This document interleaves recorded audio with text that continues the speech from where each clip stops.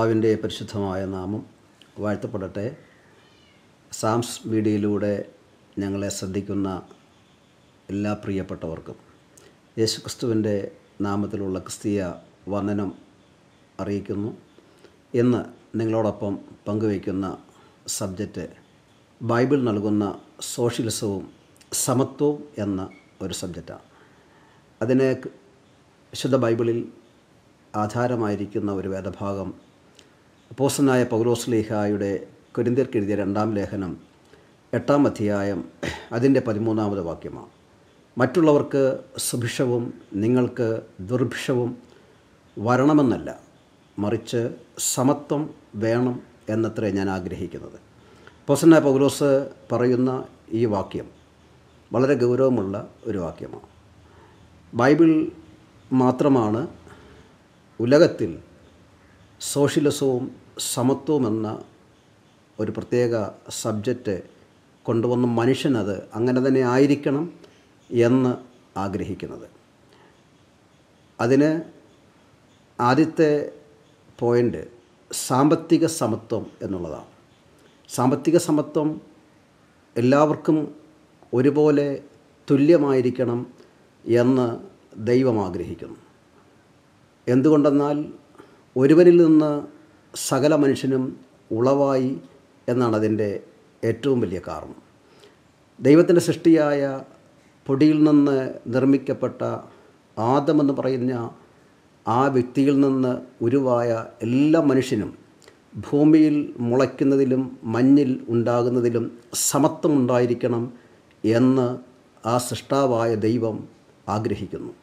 അതിന് വിശുദ്ധ ബൈബിളിൽ ഉത്തമവും ഉദാത്തവുമായ ഒരു തെളിവ് പുറപ്പാട് പുസ്തകം പതിനാറാം അധ്യായം പതിനെട്ടാമത് വാക്യത്തിലാണ്. ഇസ്രായേൽ മക്കൾ അവർ ദൈവത്തിന്റെ നടത്തിപ്പിൽ യാത്രയിൽ അവരുടെ വഴിമധ്യത്തിൽ അവർക്ക് ദൈവത്താൽ ലഭ്യമായ നന്മ ആ മന്ന എന്ന പേരിനാൽ അറിയപ്പെടുന്നത്.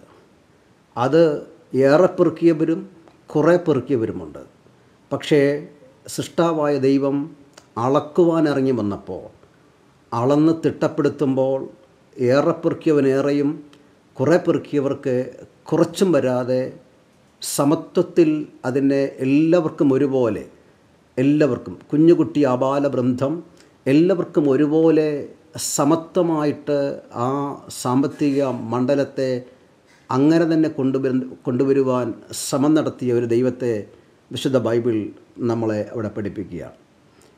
ഏറെ പെറുക്കിയവനേറെയും കിട്ടാതെ തുല്യമായ ഇടങ്ങഴി കൊണ്ടളന്ന് അതങ്ങനെ തന്നെ സമത്വത്തിന്റെ ഒരു തലത്തിലേക്ക് കൊണ്ടുവരുമ്പോൾ അതിനപ്പുറത്ത് മറ്റൊരു ചിന്ത അവിടെ ഉണ്ട് സ്വസ്ഥത നൽകുന്ന ശബത്ത് നാളിലേക്ക് അവർക്കല്പം കൂടുതൽ പെറുക്കാമായിരുന്നു.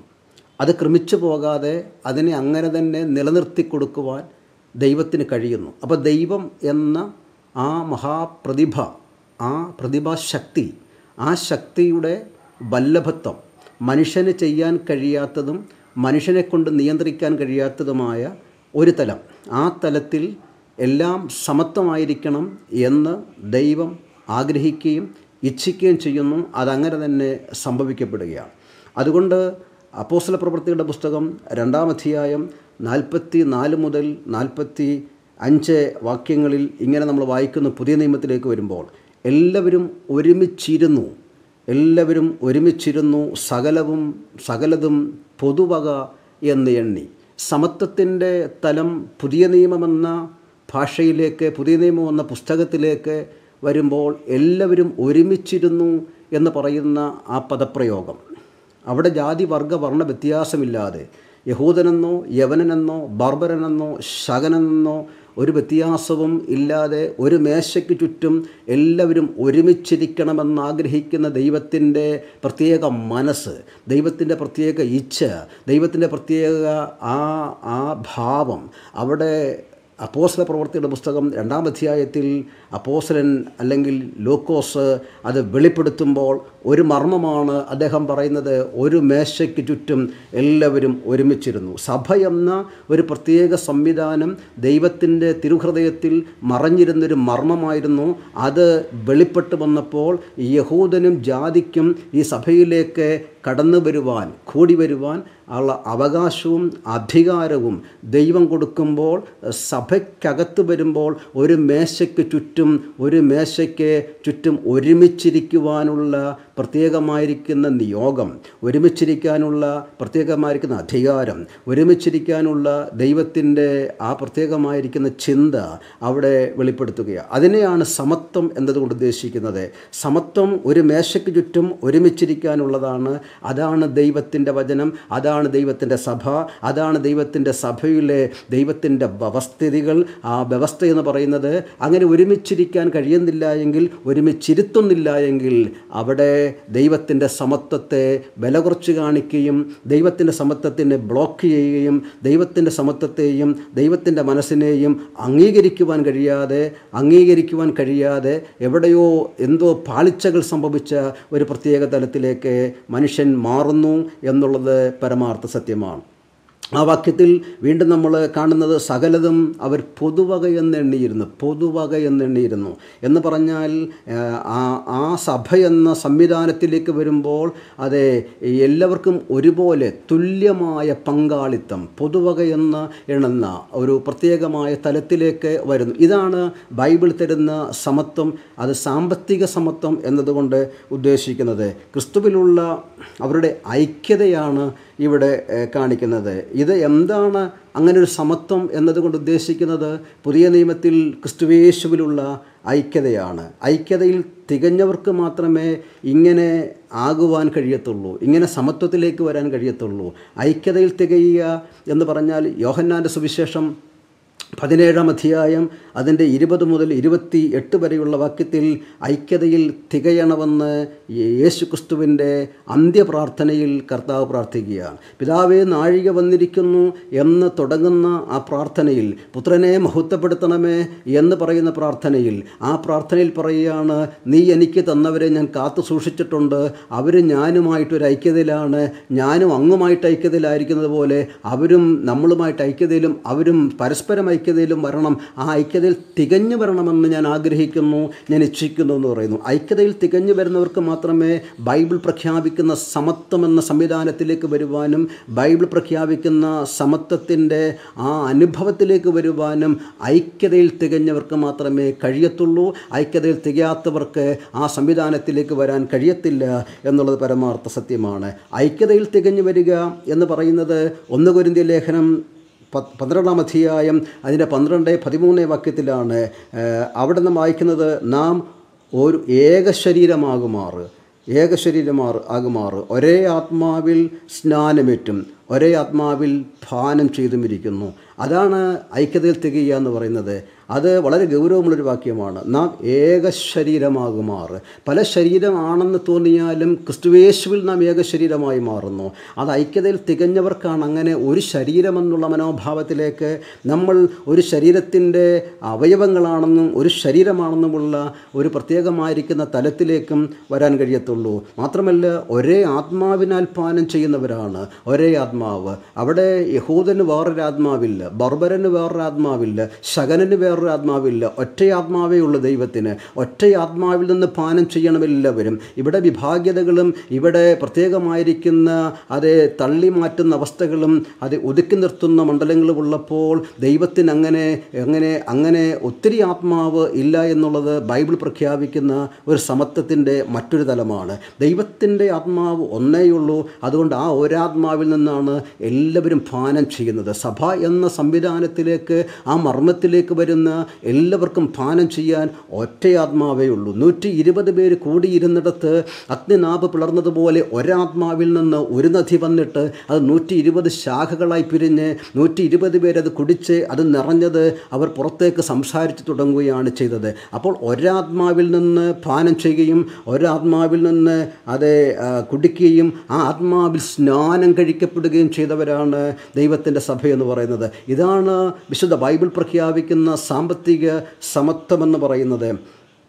തനിക്ക് ഉള്ളത് ഉള്ളത് ഒന്നും ആരും സ്വന്തം എന്ന് പറഞ്ഞില്ല എന്നാണ് ഈ സാമ്പത്തിക സമത്വത്തിൽ നിന്ന് നമുക്ക് മനസ്സിലാക്കാൻ കഴിയുന്നത്. സഭ എന്ന സംവിധാനത്തിൽ തനിക്കുള്ളത്. അപ്പോൾ സപ്പുറത്തെ നാലാം മുപ്പത്തിരണ്ട് മുതൽ മുപ്പത്തി അഞ്ച് വരെയുള്ള വാക്യത്തിലാണ് ഇത് കാണുന്നത്. തനിക്കുള്ളതൊന്നും സ്വന്തമെന്ന് ആരും പറഞ്ഞില്ല. എന്തെല്ലാം ഉണ്ടോ അതൊന്നും എന്റെ സ്വന്തമല്ല. അതെല്ലാം കർത്താവ് തന്നതും കർത്താവിന്റെ ദാനവും കർത്താവിനാൽ ലഭ്യമായതുമാണ്. അതിന് ഏറ്റവും ഉത്തമമായ ഉദാഹരണം പൗലോസ് തന്നെയാണ്. പൗലോസ് ഉയർന്നിടത്തോളം പൗലോസ് ഓടിയിടത്തോളം ഉലകത്തിൽ മറ്റാരും വന്നിട്ടില്ല. പക്ഷേ ആ പൗലോസ് പറയുന്നത് ഞാൻ ആകുന്നു ദൈവകൃപയാലാകുന്നു. എന്നോടുള്ളവന്റെ ആ കൃപ വ്യർത്ഥമാകാത്തതാണ്. എന്നോടുള്ളവന്റെ കൃപ എനിക്ക് വേണ്ടി വളരെ അധ്വാനിച്ചതാണ്. അപ്പം ഞാൻ ആകുന്നത് ദൈവകൃപയാലാകുന്നു എന്ന് പറയുന്ന ഒരാൾക്ക് മാത്രമേ തനിക്കുള്ളത് ഒന്നും സ്വന്തം എന്ന് പറയാൻ കഴിയാതിരിക്കുകയുള്ളൂ. അത് ദൈവത്തിന്റെ ദാനമാണ് എന്ന് പറയും. അങ്ങനത്തെ ഒരു ഒരു സമത്വത്തിന്റെ ആ തലത്തിലേക്ക് ഈ